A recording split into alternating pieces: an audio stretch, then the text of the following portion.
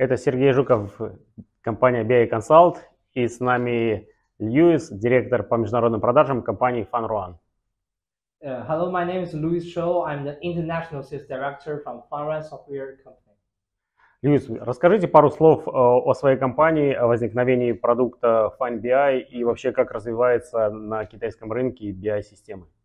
Yeah, so FunRun was founded in 2006, and fun means sale, the ship sail, and run just means uh, software. So by FanRuan software, I hope more and more Russian friend, Russian BI analysts can sail across the wind and waves. And for the processing years, we only focus on reporting and the BI field. So uh, in 2006, we released a FineReport. And in 2013, we released a FineBI.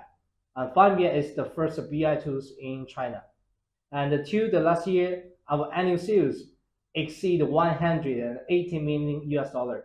And in the past five years, from IDC report, we are the top one in China's BI market. And we are very willing to have more and more Russian BI analysts to use FineBI, to use the self-service analysis tools from FanRuan software.